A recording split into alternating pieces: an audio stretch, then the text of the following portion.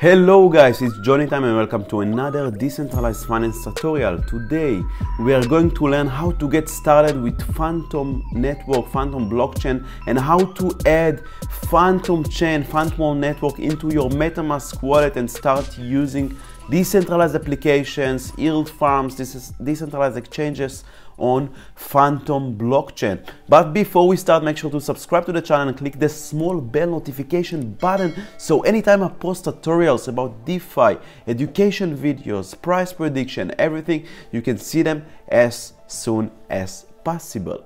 Now, without further ado, now let's understand how we can add Fantom chain to our MetaMask wallet and start trading and swapping and staking.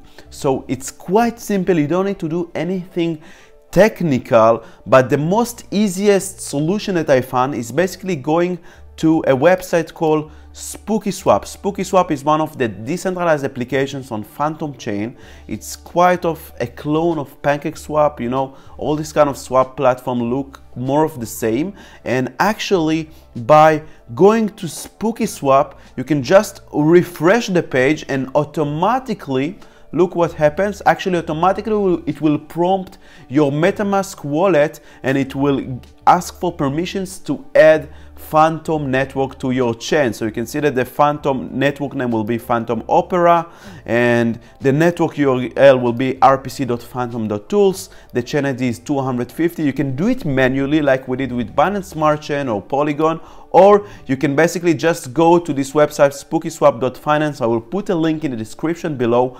Open the website, refresh it and then uh, it will automatically prompt and you will click approve and it will add Fantom Network to your MetaMask wallet. If it does not work, it does not prompt, I will put the, this kind of info. This is all the chain info in the description below. So you can just go to the description and add the network. So let's click here, approve. And there you go guys, switch network and now your MetaMask wallet is connected to Fantom chain and you can do swaps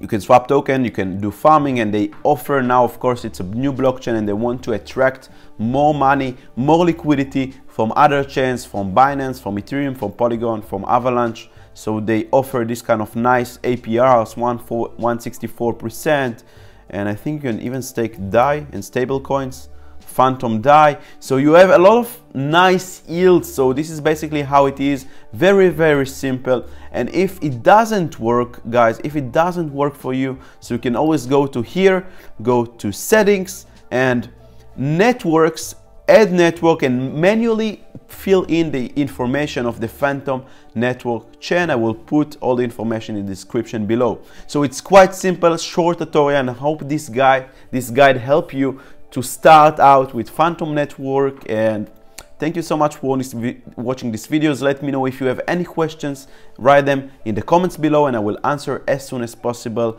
Thank you so much for watching Johnny Time and I will see you next time. Bye bye.